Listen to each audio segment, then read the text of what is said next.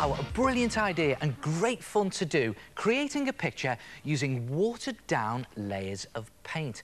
Now, for the first layer, I'm going to use an awful lot of water and not much paint because I'm going to paint the distance in my picture.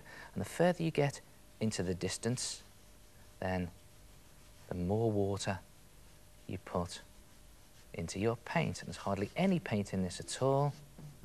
And let's just see if you can guess what it is I'm painting.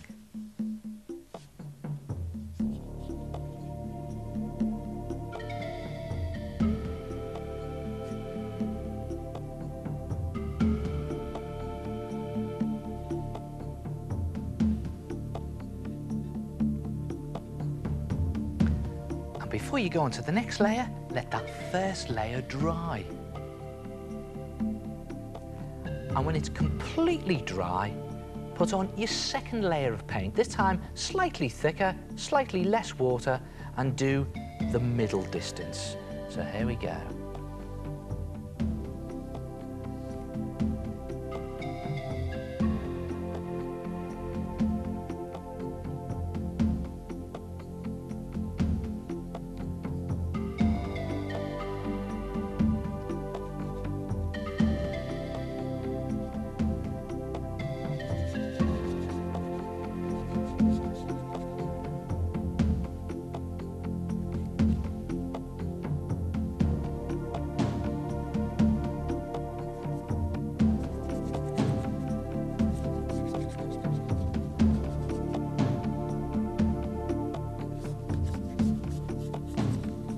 What it is yet?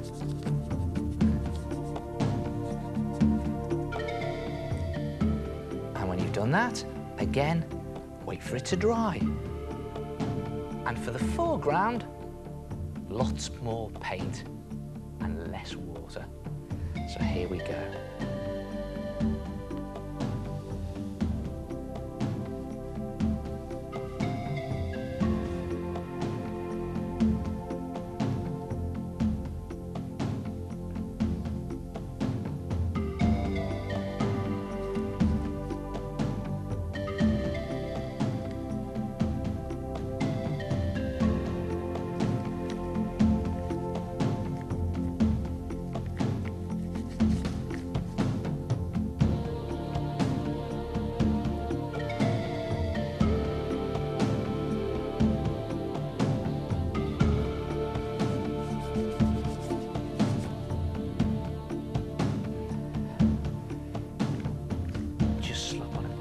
More paint there.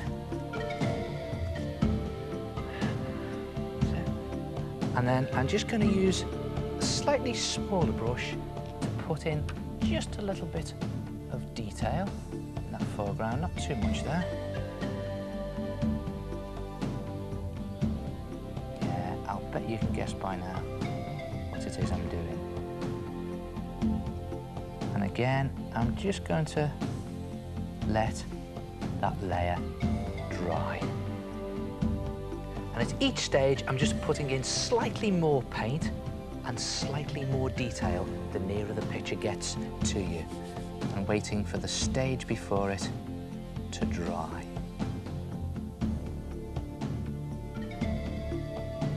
And finally, some pure black paint, no water, for some fine detail.